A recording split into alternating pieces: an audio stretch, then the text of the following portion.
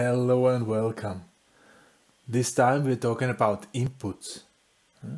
We want to, to have a little bit different behavior of our memories, so we talk about special inputs. Yeah? Do you remember this picture?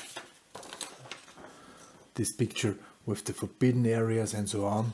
Yeah? We have had this.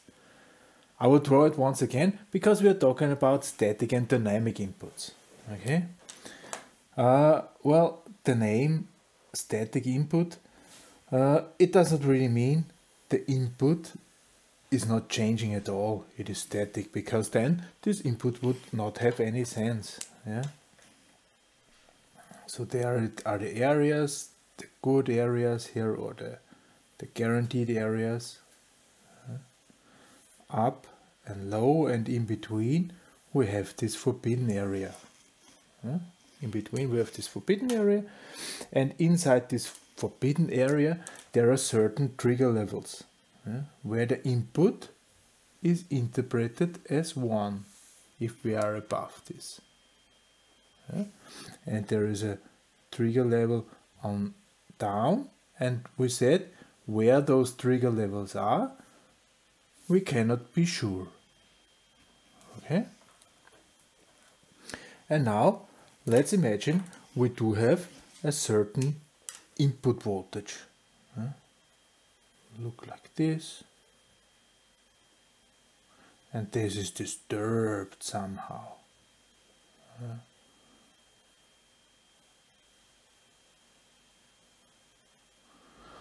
Looks like this. What is the output?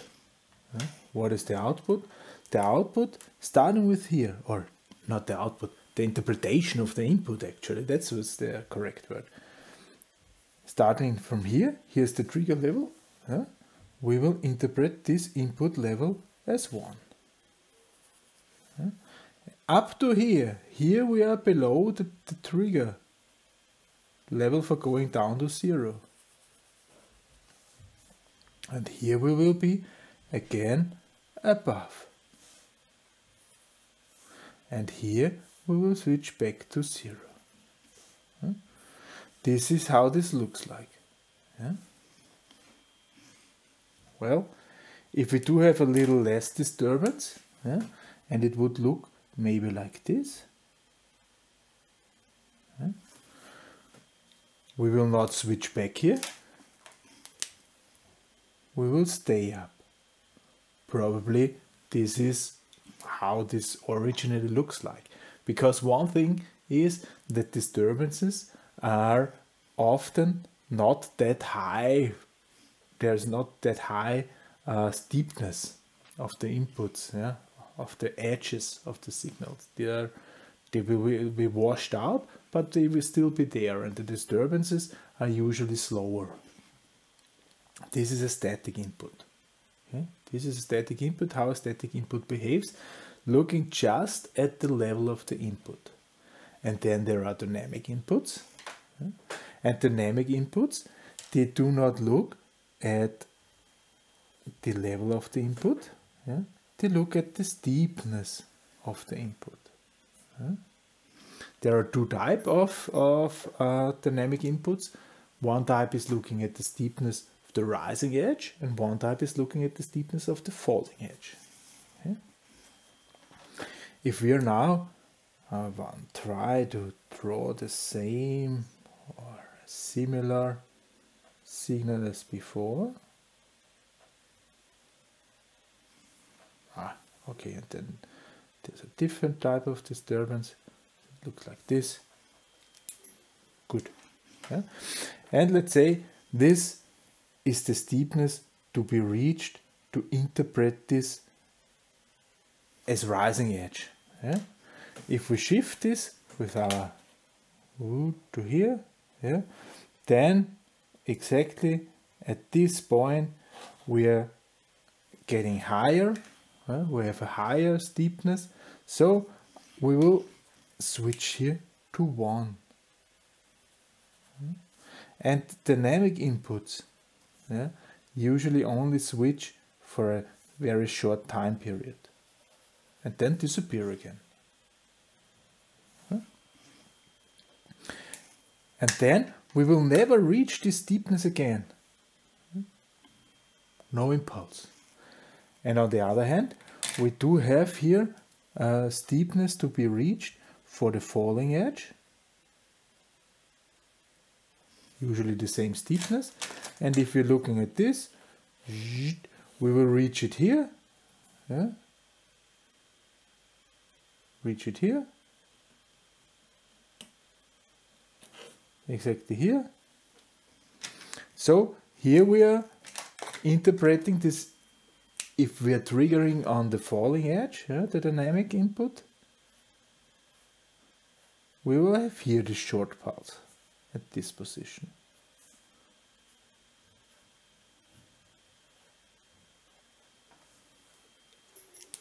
Short, sharp pulse. This is how a dynamic input is interpreting this exact signal. This, if this disturbance here is looking like this or like this, it does not really matter huh? because we are just reacting on the edges. The symbols, well here, if this is the certain symbol, yeah, we draw it like this. This is a static input. Yeah? And here, if this is the certain symbol, yeah, we draw it like this, and, and then make a little bit this is reacting on the rising edge. Yeah? And if we draw this little ring before, like always, this is now reacting on the falling edge. This triangle here shows it's a dynamic input. Okay, it's a dynamic input. Static inputs, dynamic inputs. Okay. What does it mean now for our memory? Yeah usually we do have a control memory. What does this mean again? Yeah. So there is the latch. Draw the latch.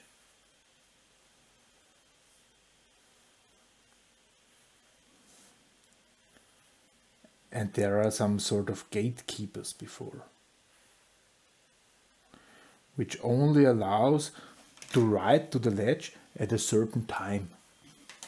Okay. So this is the SR latch memory. These are the gatekeepers who will only allow to write at a certain time. This is nothing more than AND blocks. Yeah. And here we block these two ANDs by a certain input, by trigger input. Okay. And here we do have set and reset line. Yeah? So this means the, in, uh, the, the latch here can only be set or reset if trigger is at level 1. Okay? This is a static input here. Yeah? So this is a level triggered. Level triggered latch. Until T is 1, S and R can even change and the changes will be taken into, into the memory. Okay. We extending the symbol of the memory then.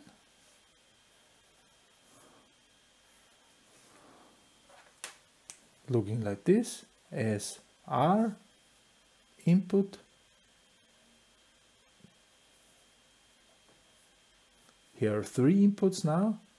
The output Q and here is S, R and T. Okay. This is the symbol of a static input or a static trigger input uh, level triggered. And there are latches or memories which look like this. Basically, they look exactly the same. They even they also have these two elements which will allow to block the writing.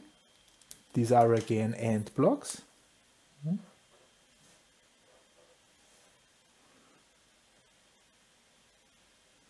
SR memory. and there of course are external S and external R. But now the second ones, they are dynamic inputs.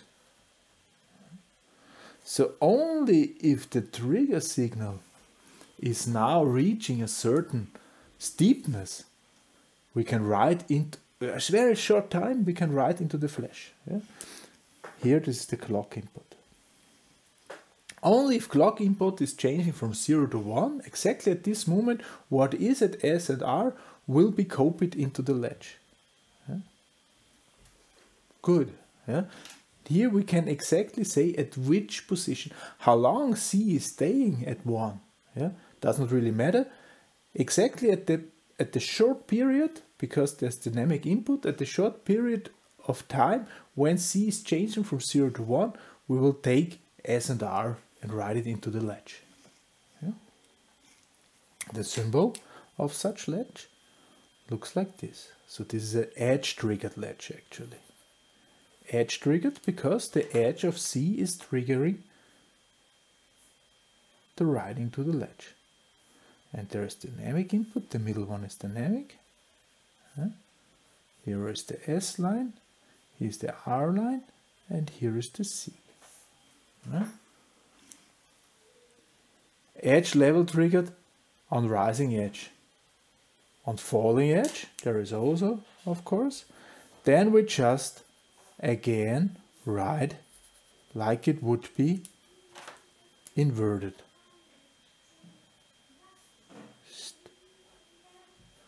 So S R C S R Q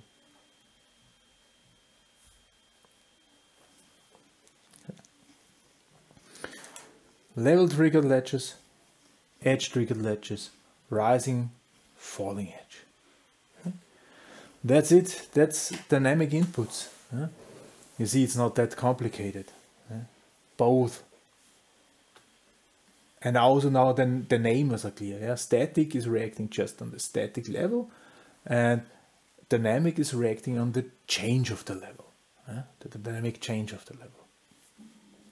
Next time we're going to talk about what we can do with such type of memories. What we can do with them if we can now select exactly the time when we want to write to the latch. Huh? We'll see the result will be so-called flip-flops. But this is then in next video. For this time, thank you very much for listening and goodbye.